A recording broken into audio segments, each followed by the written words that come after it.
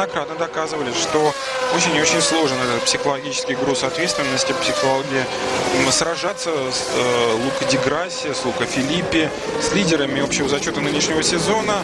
Э, атака Дома Кэролан в очередной раз она не увенчалась успехом. Сумел Виталий Петров сохранить свою девятую строчку.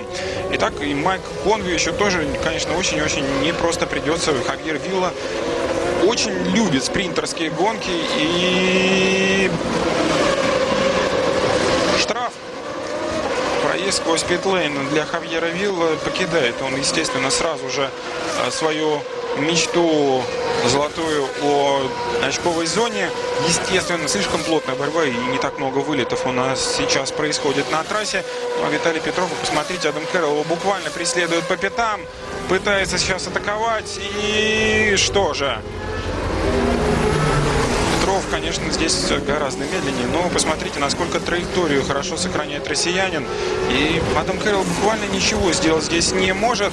Пытается влезть, но Виталий, да, очень опасный момент сейчас был, но и тот, и другой пилот вышли с честью из этой ситуации, сумели вовремя сориентироваться, но, да, мощность нашей пилота, мощность Campus Racing машины, к сожалению, но очень-очень сильно здесь сдает, да, увы, но это факт.